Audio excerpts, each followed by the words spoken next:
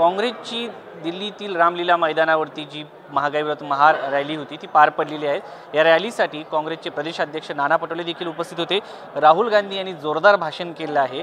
राहुल गांधी यांनी जे भाषण केलं याच्यावरती आता असं म्हणणं आहे की राहुल गांधी यांनी संविधानावरती हल्ला केल्याचं संबित पात्रा यांनी म्हटलेलं आहे. ना भाजपला खरं तर विषयाला डायव्हर्ट करायची पद्धत जी आहे आणि मीडिया ताब्यात घ्यायचं सोशल मीडिया ताब्यात घ्यायचं सगळ्या न्यायव्यवस्था ताब्यात घ्यायच्या निवडणूक आयोग ताब्यात घ्यायचं. तर कोणी या देशाच्या संविधानाचा अपमान करते आहे ते सगळ्यांनाच कळतं आहे.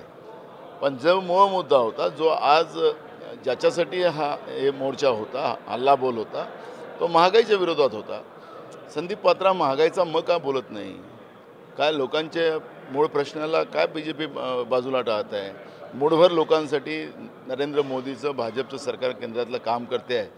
या डो लो देशाच्या जनतेला हे सगळं माहिती आहे.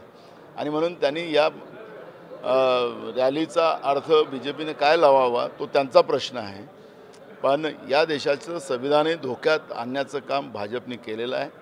आपल्याला लक्षात आलं की महाराष्ट्रातले शिंदे गटाचे एक आमदार ते म्हणतात की आमचा निकाल लागू शकत नाही आम्हाला पाहिजे त्या दिवशी लावाल म्हणजे सुप्रीम कोर्टामध्ये एक संविधानिक बेंच महाराष्ट्राच्या राजकीय पेशासाठी निर्माण केलेला आहे.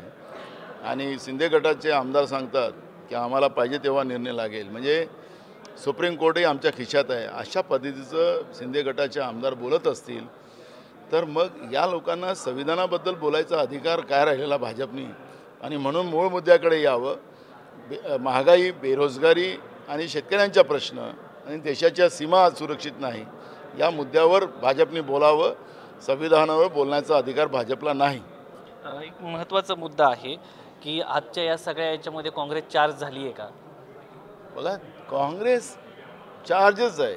काँग्रेस हा विचार आहे. राहुल गांधी यांच्या भाषणानंतर. मूळ माझं मूळ ऐका राहुलजींचं तर भाषण आमच्यासाठी सगळ्यांसाठी प्रेरणादायी आहे. पण काँग्रेस हा विचार आहे आणि काँग्रेस हे सत्तेसाठी राजकारण करण्याचं कुठलंही काँग्रेसच्या सत्तेसाठी अगर गांधी परिवाराने कधी राजकारण केलं असतं तर यू पी यूच्या दोन्ही याच्यामध्ये सोनिया गांधी किंवा राहुल गांधी प्रधानमंत्री राहिले असते. हा विषय गांधी परिवाराचा किंवा काँग्रेसचा नाही. आज देशच अडचणीत आलेला आहे आणि देश अडचणीत आल्यामुळे आपण पाहिलं की तळागाळातले काँग्रेसचे कार्यकर्ते स्वतःच्या ह्याच्याने पक्षाने आणलेले नाहीत. तुम्ही कोणालाही विचारा. नाहीतर आता भाजपला लोकांना आणायचं असेल तर पैसे देऊन आणावं लागतं. आणि तुमच्या चॅनलवर अनेकदा दाखवतात की ते पैसे कमी दिले म्हणून तिथं भांडण झालं. हे तुमचं चॅनल दाखवतं. आता तुम्ही कुठल्याही देशाच्या कानाकोपऱ्यातल्या कुठल्याही लोकांना विचारा. हे स्वतःच्या ह्याच्यानं आली लोक आहेत. याच्यामध्ये काँग्रेसचे तर प्रमुख नेते कार्यकर्ते आहेतच. पण सामान्य लोकंसुद्धा केंद्रातल्या मोदीच्या सरकारच्या विरोधातली जी चीड आहे ती चीड आज एकत्रित झालेली आहे.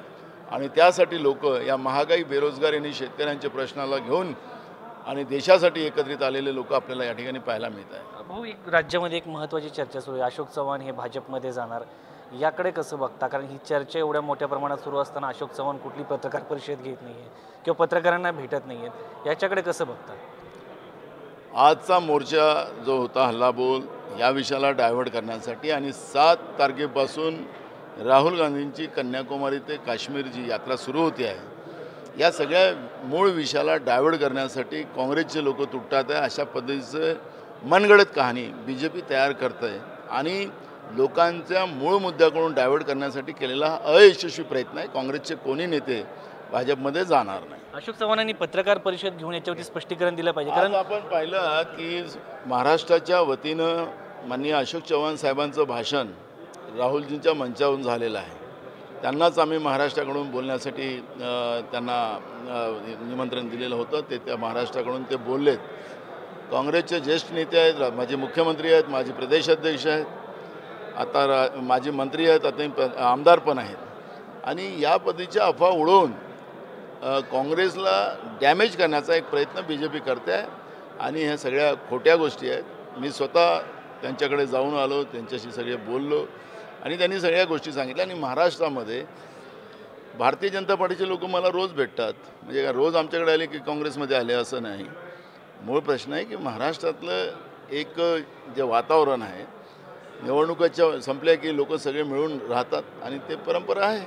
शेवटचा प्रश्न माजी मुख्यमंत्री प्रदेशाध्यक्ष राहिलेले असे अनेक नेते आहेत ते काठावर आहेत आणि काही सोडून गेले पक्ष एवढं सगळं देऊन देखील का दुसऱ्या पक्षात जाते ईडी सीबीआयचा काही दबाव असतो?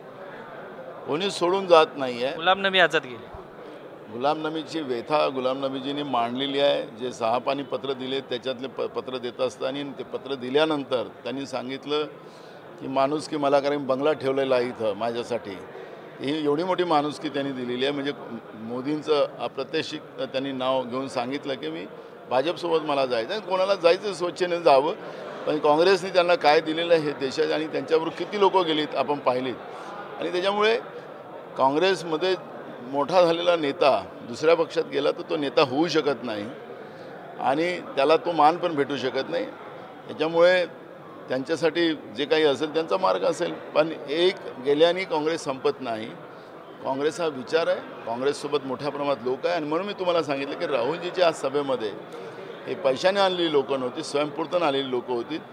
आणि म्हणून आत्ता पुन्हा ताकदीनं लोक काँग्रेसच्या पाठी उभे व्हायला लागले हे चित्र आपल्याला पाहायला मिळतं. लोक काँग्रेसच्या पाठीमागे उभं राहायला लागले असं मत नाना पटोले यांनी आपल्याशी बोलताना व्यक्त केलं आहे. कॅमेरामॅन राजेश गौतमसह शिवाजी काळे साम टी व्ही दिल्ली.